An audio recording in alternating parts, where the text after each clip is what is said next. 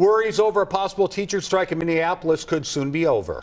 The school district and union members reached a tentative contract agreement overnight. WCCO's Marielle Mohs checked in with parents of Minneapolis students.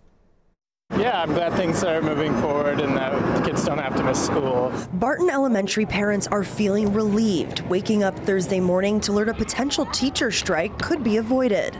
A collective sigh of relief. Oh, thank God. The district and the teachers union have been in contract negotiation for months. Educators have been working for 300 days on an expired contract. The teachers are fighting for higher compensation. I think teachers should be paid more because they do really important work and, and it's for our children, you know.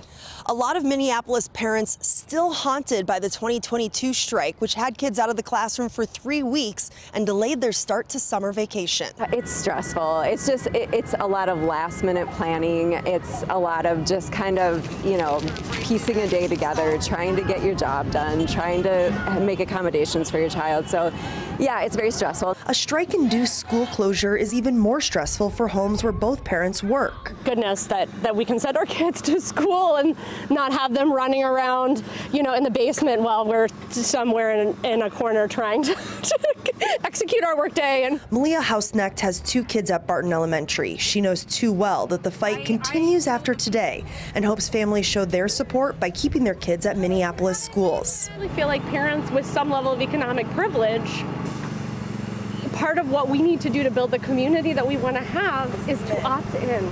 In the East Harriet neighborhood, Marielle Mohs, WCCO News.